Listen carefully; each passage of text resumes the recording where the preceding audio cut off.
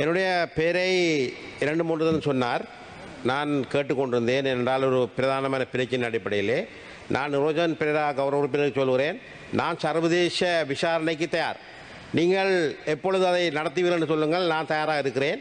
அது மாத்திரமல்ல நீங்கள் எதிர்க்கட்சியில் இருந்தாலும் குண்டு வைத்த விடயங்கள் நடந்து முடிந்த விடயங்கள் உங்களுடைய தலைவருக்கு அதற்கு பின்னர் நாட்டிலே பதவி துறந்த ஜனாதிபதி அவர்கள் அதிகாரத்தை கொடுப்பதற்கு முன் வந்தார். இவற்றையெல்லாம் மறந்துவிட்டு ஒரு சிறுபிள்ளைத்தனமான கருத்துக்களை வைப்பதில் நான் கவலை அடைகிறேன்